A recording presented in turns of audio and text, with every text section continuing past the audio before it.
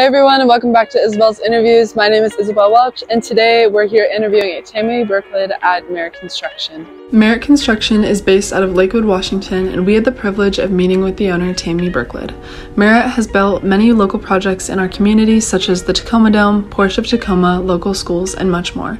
I was able to learn so much, and we hope you enjoy. Hi everyone, this is Tammy Birklid from Merit Construction. If you could start off by telling us a little bit about your story. Sure. I have been in construction for, I'll just say, more than 20 years. I started with another construction firm um, in Redmond and then came down here into this firm in 2007. In 2014, I became a partner. And in 2020, I bought the company outright and own it now as the sole owner. So, what advice would you give to an aspiring business owner or someone trying I think that it's important to surround yourself with people that believe in you, that know more than you do, that uh, can certainly provide you advice, but can also be your cheerleaders. You you need to set yourself up with a mentor that understands what you're trying to accomplish, that has more time within the industry. Um, and then my my personal things that I used in my life were uh, loyalty, working hard, keeping your your head down, nose down, just trying to um, make whatever company that you're working within better. Do you have like a specific mentor that you looked up to throughout like business? Yes, I, I've had two, and it's uh, both are men, and the first one was Roger Collins, who was the owner of Sierra Construction. Um, I worked for him for seven years, and before working with him, I had absolutely no experience in construction, just in accounting. And he was incredibly generous with his time and um, put a lot of energy into helping me learn as much as I could about the business. And the second one would be Len Zarelli, who has been my partner for many years here, uh, and again has always invested in me, believed in me, demonstrated to me that I could do things that were hard, that I was afraid to do, but I always had him there that I could ask if I needed something. Um, I think that's why it's so important to have a mentor is you have the ability to be brave but still have the security of someone who has your back. All right, so what is it like being a woman in a male dominated field such as construction? Um, I think that in my past, uh, earlier in my career, it, it maybe was more impactful and more noticeable. I think what what I've tried to do is focus on having the right men around me in this male dominated field, um, men that were willing to invest in me, lift me up, encourage me, and and build me up.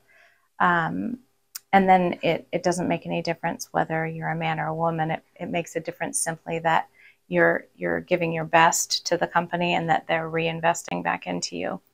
And would you suggest going into a male dominated field as a woman for anyone? Yeah, I think the important thing to recognize, especially today, um, is that no one owns any field, no mm-hmm. matter what field you're interested in, um, whether it's medical, it's it's law, or it's construction. What I would recommend is going into whatever it is you're interested in, giving it your all, and um, making it your own mm-hmm. field, and then encouraging others again, whether they're male or women, um, each lifting each other up, working together, working to each other's strengths, and being a team.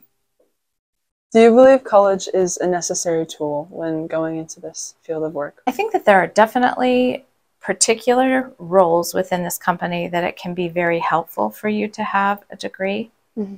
I think that a degree and schooling, education for that matter, are important in, in most jobs. Mm-hmm. I also believe um, that the most important thing in this field is to come up through the field. For instance, if you want to be a superintendent, which is leading a, a project, it's important to you have for you to have become uh, first a laborer and then a carpenter and then a foreman. At each step, you you gain new skills. They can't teach those skills in school. And when I hire someone, my first question is never, "Do you have a degree?" My first question is, "What experience do you have?" Have you worked in the field? Have you built a building? Those are the things that matter to me. Um, those are the things that help us in what we do.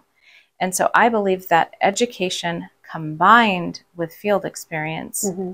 is success in this mm-hmm. particular field. Mm-hmm. So, in your experience, has your education impacted your ability to be where you are now?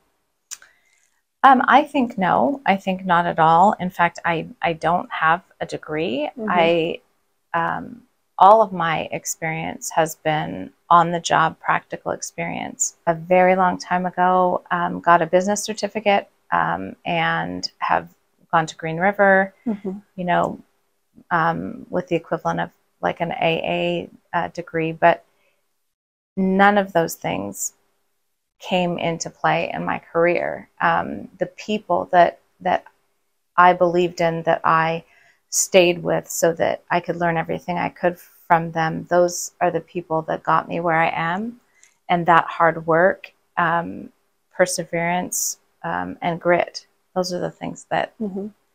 you know prepared me to be a, a business owner. So, what is the best marketing tool that you've used to help market your company? We had a great campaign that we did in uh, 2020, which was when I first took over the company. We really wanted to identify to everyone on the outside, but even more so everyone on the inside. Our message was that we are built on character. Right. And so we had this time where everyone got to first tell what does what does character mean to you? Every employee got to share that and share that with the rest of the employees we took professional photos where everyone had an opportunity for um, to have their picture and then their character statement behind them. Mm-hmm. And we shared those things out on social media so people could understand who we were and what did it mean that we were built on character. Mm-hmm. We also brought some of our very long term, we have some um, subcontractors that we work with that have been together with us literally for the entire 65 years mm-hmm. we've been working together. So we had those guys come because they are part of what is built on character. Mm-hmm. Um, so they also got to share in that. And it was a way that we got to make them feel more than just our subcontractor, but part of our team. Right. We're so proud of you and we're so proud mm-hmm. of who you are. We want to share your story and what character means to you on social media. So, what it ended up doing is just really building us together as a team um, and sort of like really enjoying the fact that we were part of a company that's built on character. And mm-hmm. they, like I said, they got to share what that meant to them. Mm-hmm and of course get really excited about sharing that with their families once we posted on social media.